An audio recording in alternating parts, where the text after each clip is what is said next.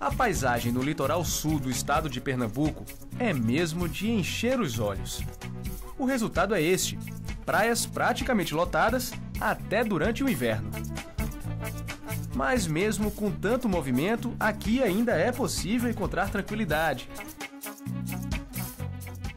É fantástico. Aqui a gente tanto tem tranquilidade, porque é bastante seguro, como tem todo o atrativo, né? A água é boa, o ano inteiro tem sol. A gente está no inverno e tem esse sol todo, né? Não são poucos os visitantes que vêm em busca justamente desse sossego. Afinal de contas, quem não quer curtir um dia de sol com privacidade à beira-mar? Realmente é maravilhoso ter essa possibilidade, essa oportunidade, né? Principalmente aqui que tem uma estrutura enorme, então a gente consegue ter contato com essas belezas naturais, a água realmente límpida, né? A areia desprovida de poluição. Tantas vantagens também atraíram investidores. Gente que enxergou na beleza e na tranquilidade da região a chance de bons negócios. Os empresários passaram a vender o conceito de praias praticamente desertas, uma estratégia que conquista visitantes. A praia é boa, que não tem tumulto, né? Limpinha. Estamos gostando muito do passeio.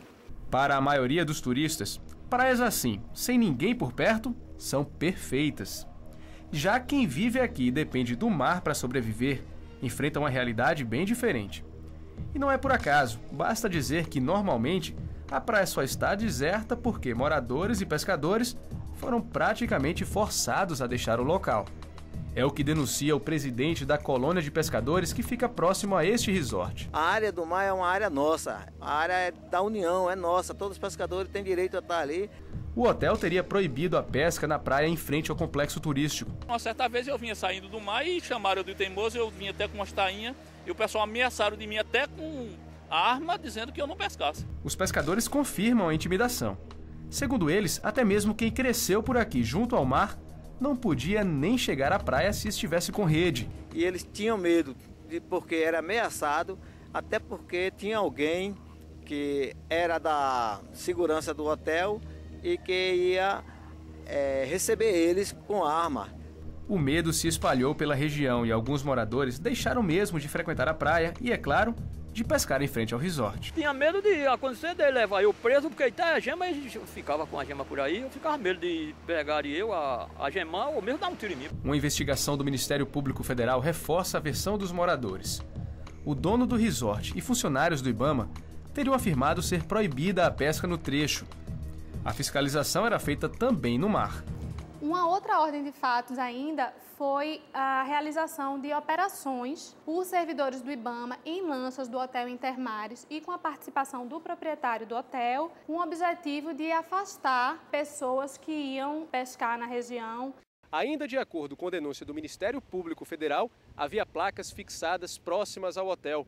Elas teriam o símbolo do IBAMA e a indicação de que esta seria uma área de preservação ambiental. Pescadores daqui de Serrambi confirmaram essa informação. Por todo lado que a gente passava aqui, tinha umas placas dizendo que era proibido a pesca. Os pescadores não cruzaram os braços. Eles se organizaram e decidiram procurar o Ibama. Foi quando veio a confirmação.